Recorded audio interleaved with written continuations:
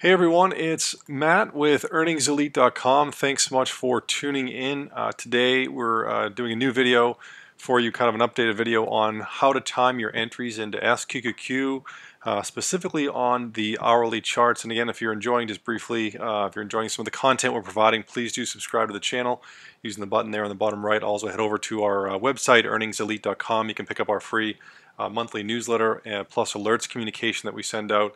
And we also just released the uh, September and October trading playbook, which you can pick up. So again, it's earningselite.com.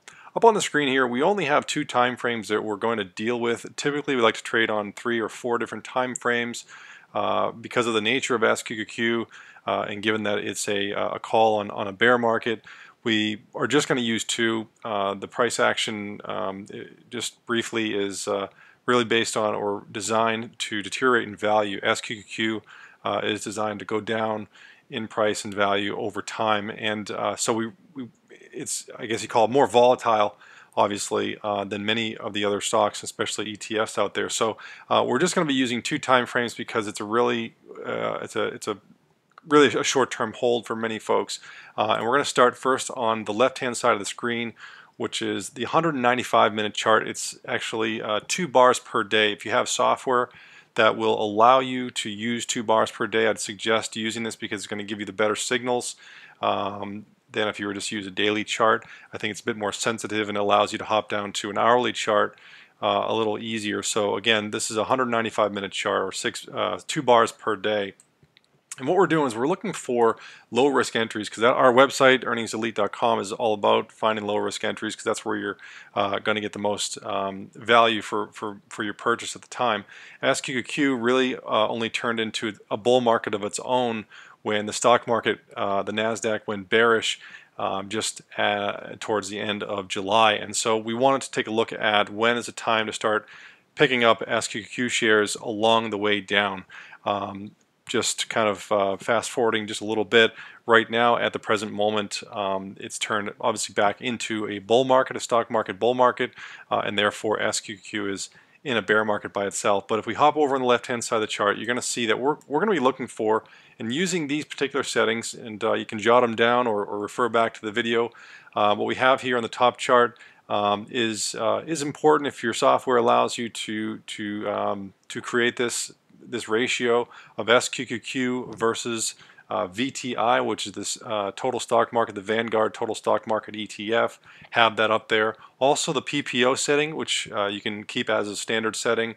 We have here on the uh, on the two bar um, uh, chart per day, we have an, an, EMA or an exponential moving average of 20. Uh, we have our volume down the bottom with the Bollinger Band overlaid with the normal settings, the two, the, the two standard deviation setting. Uh, we've just deleted the middle and the bottom channels, so don't worry about that. Uh, but you want to have a Bollinger Band if you can overlay your volume. And on the bottom, we have an RSI of 5 with an overlay of the simple of 21 simple moving average, and that's going to allow us to uh, add to the signals that give us um, the indication that we should start paying attention and start looking for low risk entries on the lower chart. So first I want to hop over to, uh, this is just late July, looks like July 19th. What we had here um, was a pretty uh, good looking signal that would have indicated it's time to start paying attention. Um, but there really wasn't a complete signal, and I'll show you why. Going first from uh, the top down, what we're going to be looking for is SQQQ to start outperforming VTI. We want to see that SQQQ is doing uh, is seeing more uh, funds inflows than the Vanguard total stock market ETFs. And what that happens, what that means is when this particular uh, histogram um, or area chart starts to rise and uh, upwards, it means that money is flowing towards SQQQ uh, more so than VTI or flowing away from VTI and uh, more so and, and going more towards SQQQ. So we want to see this line start to rise. And let me just get out a marker here so I can show you what I'm talking about. Um, this little uh, bump up right here, you could have drawn a you know kind of a trend line, and this would have been a signal. Okay, again, we're look, we're not we're not talking about triggers here. We're talking about signals. This wasn't there for us yet. We want to see this PPO line crossing the center line. Um, so this would have been uh, a non-signal. You did have uh, a um, the volume bar on this gap up push above the uh, the Bollinger Band, which uh, tells us that This volume here was above two standard deviations, so it was above average uh, piercing of, uh, or, or, above average volume for that particular bar, which again would have kind of uh, turned us to, you know, get, got us to look at what's happening. The other thing that did not work out is what we're looking for is we're looking for this simple moving average of 21 to be above the center line above 50. It was not there. The simple moving average, or excuse me, the RSI of 5 did pierce above, but it hadn't pulled up the RSI, uh, the, the uh, simple moving average 21 above the 50 line, so that didn't work out at that particular point. So um, it just would have been sort of watching and waiting for us at this point. What we're looking for is all of these um, uh, all of these things to line up as best as possible because we want to stack the probabilities in our favor before going ahead and looking at going long in SQQQ. So let me just fast forward a little bit here and what you're going to see is something has uh, shifted here. We've got, let me just pull up the marker again. Uh, you did have, if, again, if you can draw a line, you just want to be paying attention. You did have an outperformance, so this is a go. This is a signal that is turned on. Uh, at that particular point, which was about August 2nd, we didn't have a crossover just yet, but we did have it if you watched it progress. We did have a crossover eventually, the PPO line, or the center line rather. The, the, uh, the signal line hadn't caught up yet, but the PPO line uh, indicator did uh, cross over the, the, center line. We had a gap up, which is also an additional signal, and we have uh, here a, uh, a pierce above the upper Bollinger Band which would have indicated another positive signal that it's time to start paying attention. And lastly, back here we did have a rise above the 50 line. It dipped down below it, but it did end up coming back above it probably around the same time as the PPO line was crossed over. So uh, on August 3rd, it would have been a time to start really paying attention and looking for an entry at that time. Now, when that happens, it's time to start moving down to the hourly chart because we want to be looking for uh, our entries on the hourly uh, and I'll kind of go through how to do that and, and why. So first of all, here we are on August uh, 2nd or 3rd, whatever that might have been. Let me just kind of see if I can uh, zoom in just a little bit on this chart. So August 2nd, August 3rd, we are looking. So here we are paying now attention to the hourly chart. You don't want to enter in here. Again, it's too high risk. Uh, I think it was Alexander Elder, if I recall, uh, really thought really called this sort of the value zone. We have two uh, exponential, or excuse me, we have two moving averages set up on the hourly chart. We have an EMA of 20, and we have a simple moving average of 40.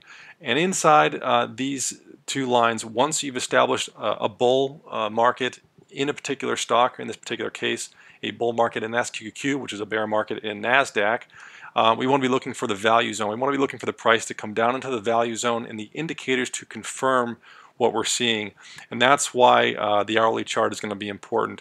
So as we're watching uh, the price action fall down on the hourly chart into the value zone, we want to be looking for the signals that indicate to us that it's a lower risk entry into SQQQ. So on the uh, uh, the two bar chart, we're still, as you can see, as we cruise along here, we're above on the PPO line. Everything looks good. We're outperforming. Uh, the volume's not incredibly impressive on the rise, which is you know something to be alert, uh, aware of. But that um, um, the simple moving average of 21 is above the 50 the whole time. So what we want to do is we want to look for the uh, this and this is key. We want to look for the price to enter into the value zone, which is between the exponential moving average of 20 and the simple moving average of 40, which it had right there, and simple, the RSI of 5 come down and get as close as possible, tag or just go beyond uh, the uh, about 25 or 30, I believe it is. I think it's uh, just 30 on our setting here. We want to see that come down, the RSI of 5, and tag that, and that indicates that it's a good time to go long because uh, again we're still outperforming up here if you look at this. Um, yes you have a, a, kind of a signal crossover but then a recrossover of the uh, of the signal line here with the PPO but the important thing is that the prices come into the value zone on the hourly chart. Now you can go long here. You could add into a position if uh, each time it comes down and does that or you can exit when you feel it's a bit overbought uh, here when the RSI gets above. It's totally up to you how quickly you want to do this. Uh, but again, we have another signal that's come in. This one uh, wasn't as impressive, and I'll tell you why. It's because the RSI did not come down, so it would have been more of a watch and wait to see if it actually came down and tagged it. Um, it really wouldn't have been for us to add to the position there. Uh, and then also what we want to do is take a look at the next one, which was the, the price did come back down in the value zone. zone. It got uh, very close to uh, the RSI here, the R5, down to 30. Again, back into the value zone between your two moving averages. And again, you could have gone long, exit on your pop, uh, given sort of your, if you do your um, measured moves, you could have uh, exited here. And let me just uh, move this chart along just a little bit so we can kind of see what's transpiring um, now. And so on August 18th, we had the price come down back into the value zone. We got pretty overbought, but the concerning part about this particular move was it would have been a potential entry because we did have a tag down here of the RSI of 5, but you can see it got very, very low. It, it pressed down quite far. And at this particular point, once we see it drop down below 20, it would have been worth it to hop back over to the two bar chart to see what's happening there. And so let me just fast forward the charts just a little bit to August 18th, which would have been right about here. And the RSI of 5 on this particular chart dropped down and hit the 30. Uh, it really would have signaled a, kind of a you know, a dangerous entry at this particular point because the move down was so violent from an overbought position. Um, and so right now, I think what's, you know, looking ahead into September and October right now, SQQQ at the present uh, moment is in a uh, is in a bear market, which means the stock market or the Nasdaq is in a bull market. So what we're going to be looking for now going forward is hopping back over to the two bar chart. And we want to be seeing this entire thing repeat again sometime in September and October for maybe a two to four week run that SQQQ uh, will be playing again with these uh, these moving averages, the 20 and the 40, hopefully heading in the northeasterly direction. So if you're going to be considering SQQQ, be on the lookout over the next several weeks and a couple months uh, because you might be finding uh, uh, finding a way to enter it using the system that I've just presented you. Again, starting with the two-bar chart, hopping down to the hourly chart. So again, thanks so much. Uh, do subscribe to the channel. Head over to our website, earningselite.com. Pick up that newsletter and the trading uh, playbook if you wish for September and October. And good luck and uh, happy trading.